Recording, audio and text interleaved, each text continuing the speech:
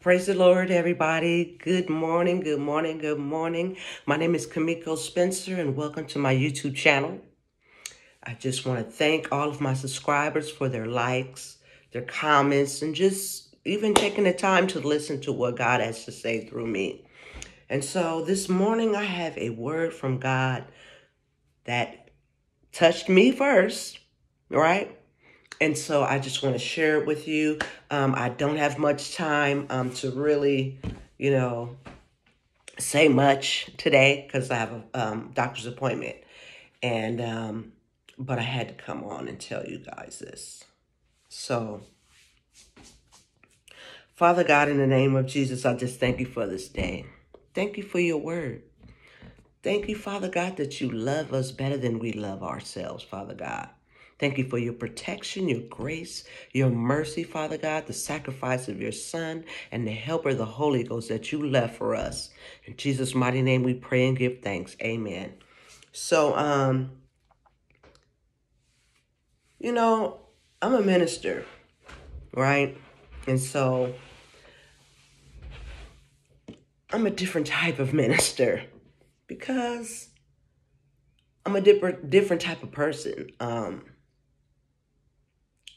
not that I'm special or more important. It's just, you know, um, the way I do things, the way I act, the way I carry myself is different from most. And so sometimes I get a lot of backlash for just me being who I am. You know, um, I'm not perfect at all, but I'm real and I'm honest with people. And so sometimes people don't like that. And so we go through things, you know, with just people. because you are who you are, right? And so God led me to read this to you guys really quick. It's found in Genesis chapter 1, verse 31. And this is about the creation. And it says, And God saw all that he had made, and it was very good. And there was evening, and there was morning, and that is the sixth day. That's the new international version of the Bible. So, in six days, when God created this earth, in six whole days, he saw that everything he made was good. He said, very good. That means, okay? So, had a conversation with someone, and I've been kind of dealing with this with some people here lately. Um, they're trying to attack my character, ruin my reputation, right? Whatever. You know. But God was letting me know look here. I don't care what people say. I don't care what you have done in your past, who you used to be, how you used to act, who you used to hang with. I made you. And everything I make is good. Whether you've been on drugs before, whether you hurt someone, murdered someone, whether you chose to love the opposite sex, okay? I'm not promoting it. But this is what I'm saying.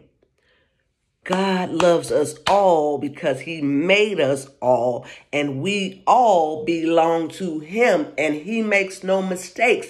Whatever he made, he said, he said, he don't need nobody else to justify who you are because we belong to him. We are his sons and his daughters. And he saw that he made us good, fearfully and wonderfully made. So I just want to encourage encourage you today. Don't worry about nothing people say. Of course, we're supposed to follow the Lord, obey his commandments, seek him, desire him more than anything else in this world because he did make us. Nobody else could do to us and for us what God did. There's just no one. no one. You keep your head up. You keep pushing forward. You keep moving. We all got a promised land to possess. And I'm going to be speaking on that too real soon. The seven nations of Deuteronomy chapter seven. Because we, some of us is going through a lot of this stuff we're going through because God has something for us. He has something for all of us. And we haven't made it there yet because of people. And when they attack us and make us hurt us, bully us like they did in school, even as adults, even in the church world, and break our spirits. Make us look at ourselves. Because I'm really bad about when I mess up, I'm like a perfectionist. I, I don't like to mess up. And when I do, it hurts so bad and I'm down on myself. You don't have to talk about me. I talk about myself, right? But God said, this is what he said. This ain't from me. Genesis 131, and you can see it for yourself. God saw that everything he made was good.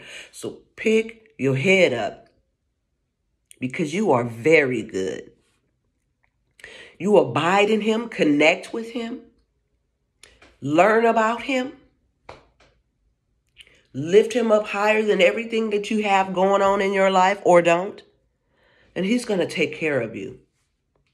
But don't you worry and don't you fret just because they talk about you and lie on you, hate on you, whatever it is. Know this one thing here that God made you good and you are very good. So repeat after me I am good. In Jesus' name, bless you all. God bless you. I got to get out of here and go to the doctor. I love you. And I will be coming soon with that seven nations of Deuteronomy chapter 7. Have a blessed day. See you soon.